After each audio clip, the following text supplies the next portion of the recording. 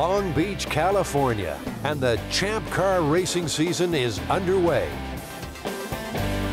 With auto racing tracks located all across the United States, the team coach has become indispensable for following the circuit. I'm Peter Murphy. My wife and myself have been driving this, not this exact vehicle, but a vehicle for Newman Haas Racing for 19 years. To those of us not on the Dream RV circuit, that would be Paul Newman, actor, charity fundraiser, and race car driver. Transporting his coach from race to race is Peter Murphy's job. Specifically designed to drive probably a million miles with 50 people on it, but we use it to drive down the road with myself and my wife. But we do it for Paul Newman and Carl Haas. They have never turned a wheel on this thing, and we're not too sad about that. We enjoy it. Newman's brief to Coach Builder Marathon was plenty of room and keep it simple. Money was no object. We have storage compartments, which obviously we need for everything. We move back here, that's a over-the-road air conditioning compartment. And right here is our, our plumbing compartment, uh, which obviously is very neat. Very well done. The racing bug struck Paul Newman back in 1969 when he starred in a movie called Winning, based around the Indy 500. He was wonderful, and he got hooked, he loved it, and he still loves auto racing. Just absolutely has a passion for it, which is great. Newman's coach tows a fully commercial kitchen He's customized his RV to be corporate headquarters trackside. That means entertaining dozens of sponsors and corporate clients.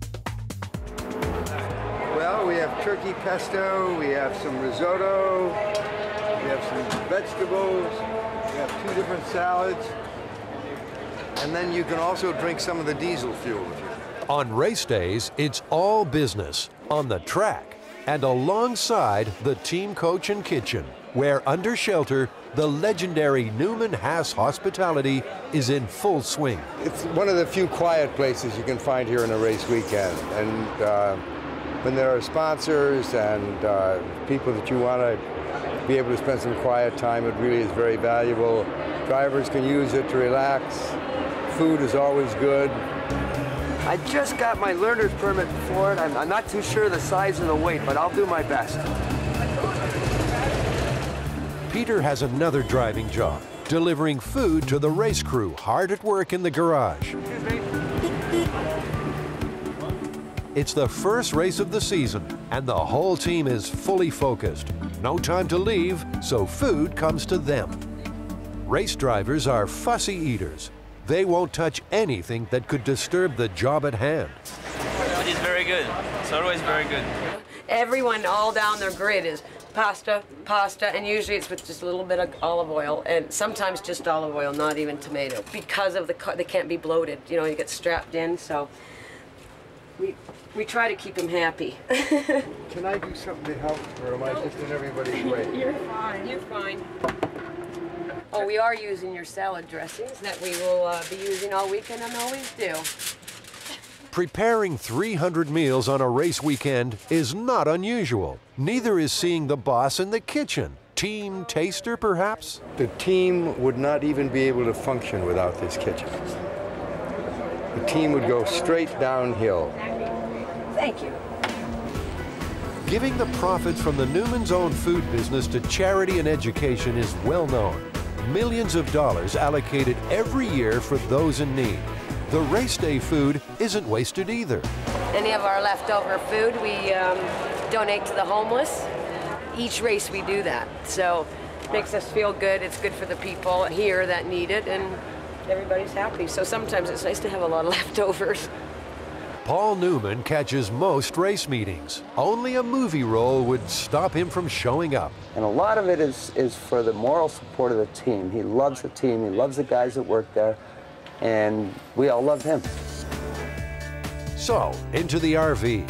Newman didn't want bedrooms. He put a slide out at the front for a stateroom and another at the rear for his lavishly fitted office, the private domain of the star.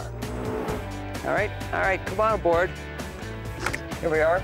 Welcome to our marathon yacht on wheels. And um, this is basically the rear lounge, which will seal off to be a, uh, a great meeting room. And it's also a very relaxing room.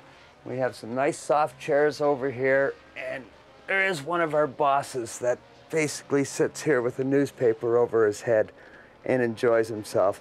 That door will seal off and even at a race where there are 100,000 people, he is very relaxed. Who's that? That might be Mr. Newman. On race day, they can get three separate television signals. What we do normally at a race is we have one on timing and scoring, which is fed to us. We have one on the live feed on the track, and then we have one on the satellite. Okay, moving from the rear lounge, we have the toilet on the left. Down here, we have an automatic dishwasher. And over to the right, we have our trash compactor. And here's a full oven. Newman's onboard second kitchen doesn't get as much use as his outside addition, but it does come in handy. with, uh, oh my God, it's Newman's own popcorn inside. Oh, here. What do you think, guys? Do you think we ought to, I think we ought to have one of these. Put it up here in the microwave and see what happens. I think it's working.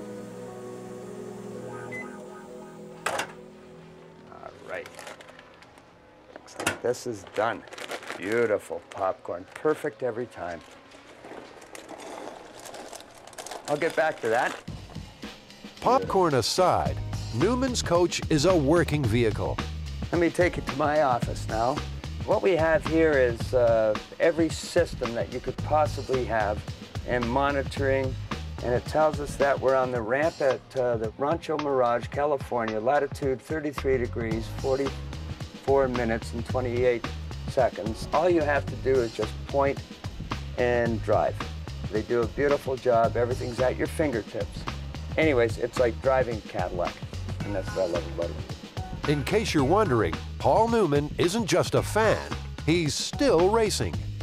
probably about two months ago at Lime Rock, Connecticut, he raced. It was in the rain, but it was a professional Trans Am race. And he finished fourth overall.